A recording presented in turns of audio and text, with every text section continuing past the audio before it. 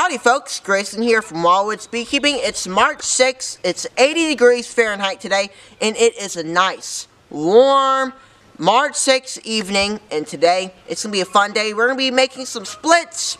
Maybe you're a beekeeper who wants to expand your bee yard and say, maybe I should just raise my own nucs, make my own nucs, make my own freebies from the hives that I have at my own bee apiary instead of going out to somewhere else and buying nucs from somebody else make your own right? So today I'm going to be sharing with you the method I was talking about in my recent video about taking four frames of brood put them in a nuc. Today I'm going to be showing you that method show you how I do it what kind of brood patterns I like and how many bees you need in that five frame nuc to make the good queen cells you want let's go ahead and delve right into it and learn more about this splitting method that I am talking about.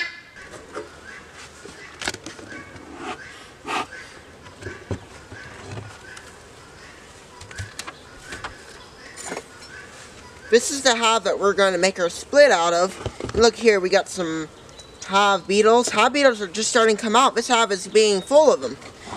Hive beetles are annoying little creatures, and here's one on the side. I love smashing them. I'll just sit out here all day and smash these little hive beetles. That's not really good, but at the same time, this is a super I just added, so they're, they're all up here, and I'm using drawn foundation up here from a hive that I took this super off of during winter. We're going to pull up a few frames just to show y'all how good these bees are at storing up honey this is one of my Russian hives, and this, well, we're going to make another Russian hive just because it's a good hive. So, and you know, I really enjoy this hive. See, this thing's a heavy old frame of pollen and nectar. Real heavy. We're gonna go to a few next frames. This is this is the main one that they're having a lot of nectar in. And plus, I'm not feeding one-to-one -one sugar water. I do not like to feed one-to-one -one sugar water while feed while having a super on it just makes them store up the one-to-one sugar water in here. And you don't want your food, your one-to-one sugar water, to go to their honey nectar source where you extract the honey and they're using your one-to-one -one sugar water instead of pollen or nectar. Another frame of nice nectar. See, they're not capping it off because it's not yet ready to be capped. First, they need to do a few things like make sure all the uh, nectar is brought down to a certain percentage, then they're going to cap it off. Once this honey is capped, we'll extract it, but for the time being, we're going to let them do their thing with their little, with the little super. We're going to get to the, this is the bottom deep here, we're going to get into this thing. I can bet you that this is going to be heavy.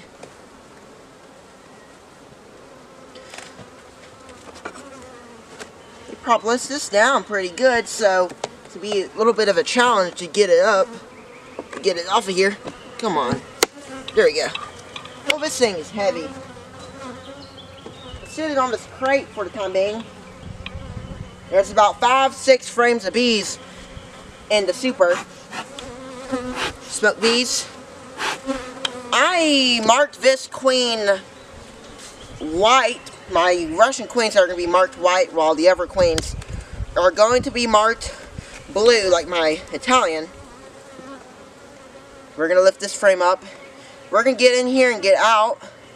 Put, I'm going to take about four frames of brood and put them in a small, small five frame nuc.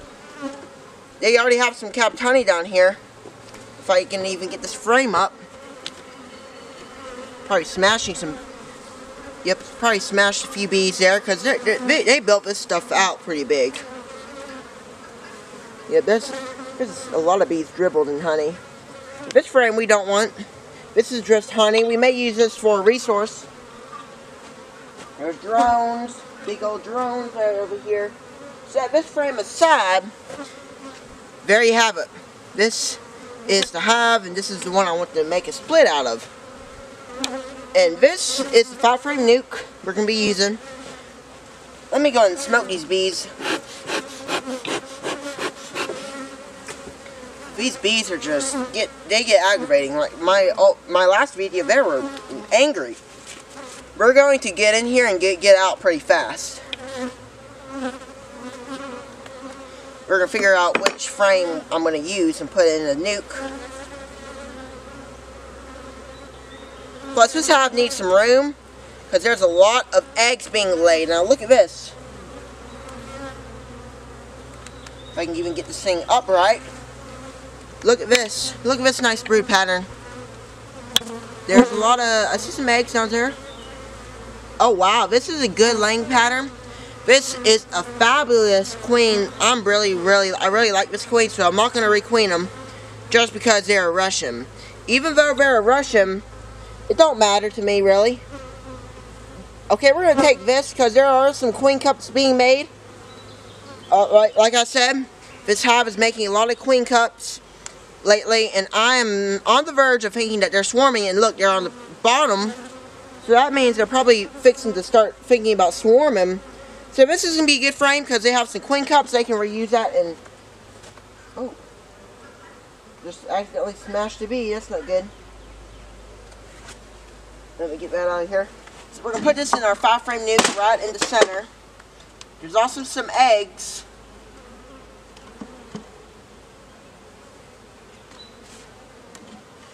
Take some of these frames off. Put that aside, these frames aside. I am going to put this lid back on so then they don't start running away because they're going to try to go fly back to the original hive. So close that up for the time being and get another frame for the for our split. And looks like we got another cell. It almost looks like it's capped. You know, you know, I don't think they're going to swarm just yet, but they're, they're probably thinking about doing it. So at this point, if they're thinking about splitting, I may take the queen and put her in that little nuc over there. If this thing is capped, it just looks capped, but may not be. Nope, it's not capped. There's one on the side. We're looking for capped cells as well. But cups still indicate that they're probably thinking about swarming.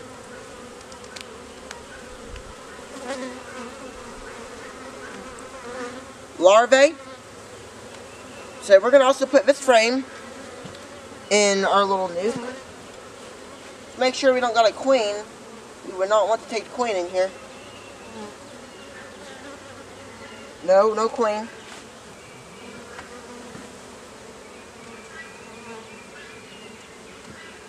Put this in here. This top cover back on. Okay. Got three frame, two frames so far. Smoke them down. We're going to keep on continuing to find some more frames. This frame is one I'm going to put aside. We're going to put it at the end. So if the queen would like to lay, she can.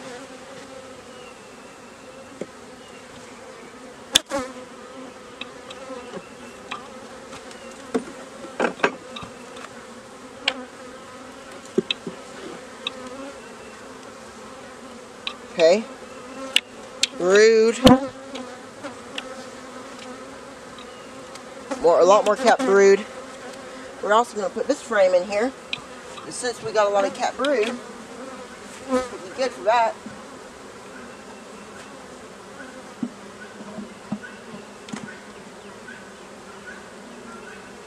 A lot of bees clustering on top.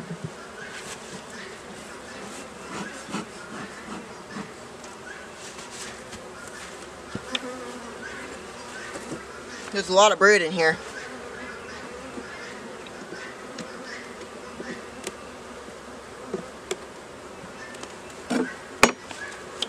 I'm going to make sure they haven't already swarmed because, you know, I'm not sure if y'all can see the nuc, but here it is, and you're kind of getting the glimpse of an idea of what I'm doing with this little, let's pull this frame back up. I marked this queen right white so we should be able to see if there's a queen in here. And she may be on this frame right here, a drone brood that I put in here. So she may be there. I have no idea. Now we may go ahead and put this frame in there. We're gonna. I'm picky about which frames I put in because I need good frames.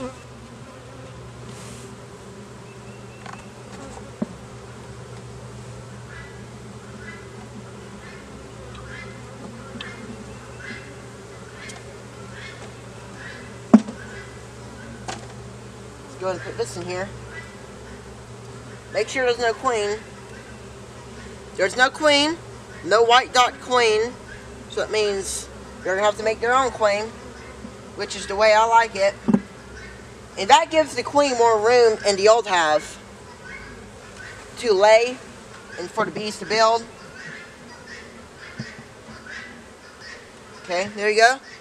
That's going to be our nuc, folks.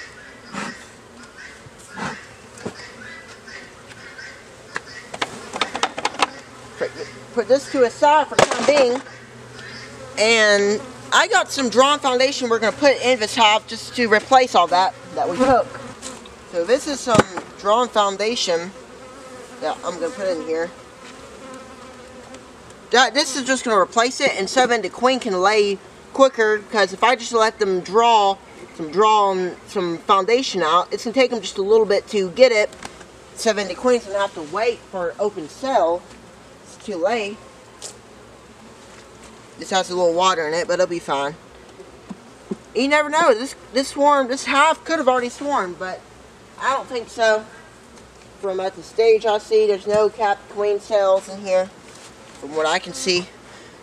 So I really highly doubt that they swarmed yet. So let me smoke this hive so I can put these frames in here. There's still a lot of bees in here. This is just to give the queen more room to lay. It should be better. This is a frame of, oh, food. Nothing much on here. Okay. We'll put this back in.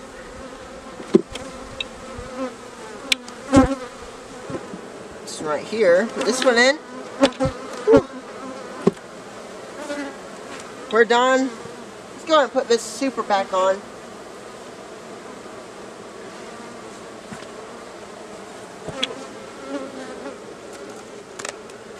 Oh, oh, getting stung by a bee. Let me get my hive top. And now, now I got stung by a bee. I just got to take that stinker out. Of course, it didn't sting me. It just stung my uh, glove, which didn't do nothing to my glove. Or to me in that case. Take it out.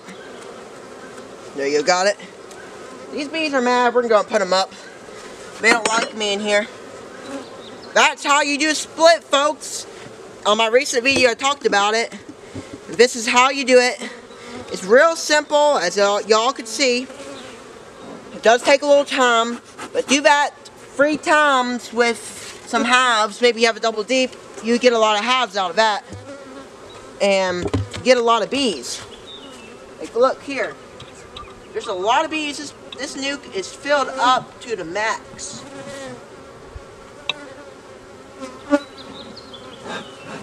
It's okay if we lose some workers because it doesn't matter. And I'm smashing a lot of bees.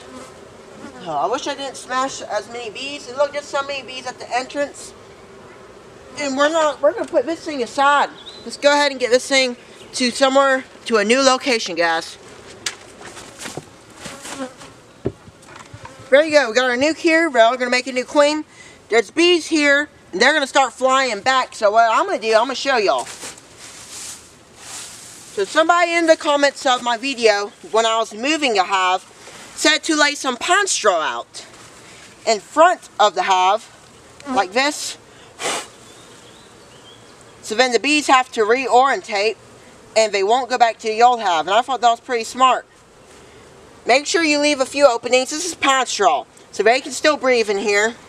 There's cracks all up in here. There's still air in here. It's not going to be bad for the bees. And this will make the bees not leave. And the bees will drag all this out by themselves. But I'm going to come back later. You can come back at night and remove it. That way. You can just remove it at night whenever they're not active. These bees that are outside will probably go back to their original hive. But here you go. This is how you make yourself a split. It's easy, simple. It is 100% free. If you guys enjoyed, please give me a thumbs up. This was some hard work to get this video out there. Get this video filmed. It's hot out here. I'm going to go ahead and get back out to the house. Cool down. We'll catch you on the next video, fellas. Take care, everybody.